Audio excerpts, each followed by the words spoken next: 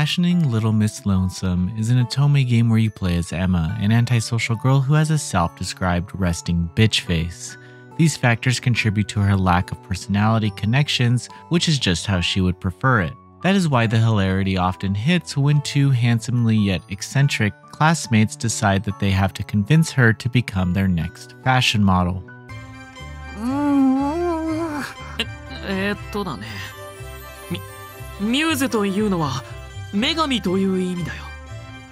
Fashioning Little Miss Lonesome prioritizes its Otome themes with its choice of two immaculately designed male love interests, while the duality of a masochist and sadist is the main draw between these two, some key features better solidify its understanding of the Otome genre. In the beginning, you may name your own character, Furthermore, there's a toggle for turning off the protagonist's face, which hides Emma's character sprites during dialogue portions. Dating games often present the character as a self insert for yourself, so having these options appeals to the greater immersive feeling. That isn't to say Emma doesn't have a personality of her own. You will quickly become acquainted with her signature yelp as she gets roped into Saito's and Miki's odd shenanigans. It is refreshing to see Emma struggle against such strange circumstances as she's being asked to be a model. The story is aware of its own ridiculousness, but having the main protagonist just go with the flow would push it over the edge in terms of believability. The love interest, Saito and Miki, are no pushovers either. Miki's passionate for designing despite the difficulties of gender stereotype weaves narrative parallels with Emma, who is similarly bullied for traits she cannot control.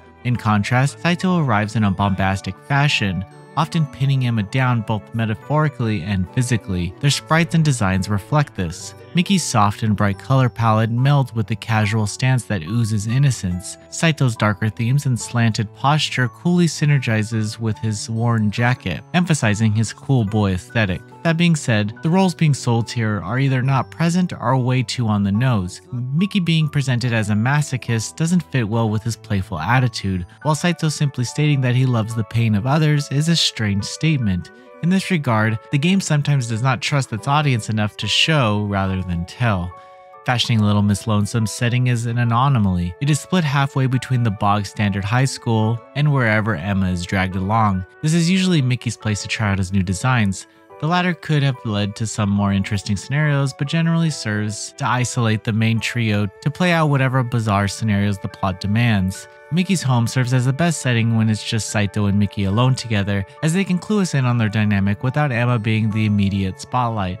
The environment can feel lonely when it focuses on the trio together since the focus spotlights just how few other important characters there are here. The intimate dynamic of the pairings playing off each other is a warmer feeling, and the focus on that in the latter route makes for a more streamlined experience based on your actions. In contrast, the school provides a context in which Emma is still in the lower caste within the social pecking order. This is necessary for the game's insinuation that Emma is undesirable to normal people. Her height is a major source of distress to her, and the constant bullying of fear from other classmates results from that. In that sense, the high school is a more interesting venue, as the main conflict is established and allows the player to observe how she changes due to Saito and Miki's influence. The plot is standard Otome fare despite the grandiose premise. It is a thinly veiled wish fulfillment vehicle with a target demographic of people who enjoy being told that they are gorgeous and unique by their preferred hot guy.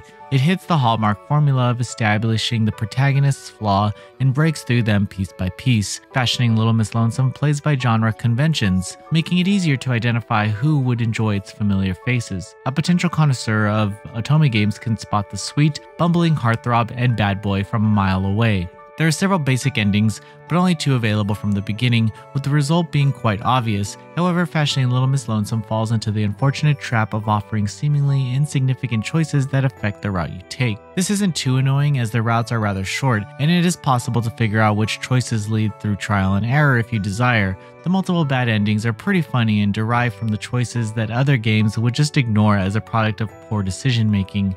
Fashioning Little Miss Lonesome is not a revolutionary Otome game, but knows exactly where to aim to check the genre's boxes. Its options to customize the experience shows its understanding of the desire to self-insert into the dating game scene.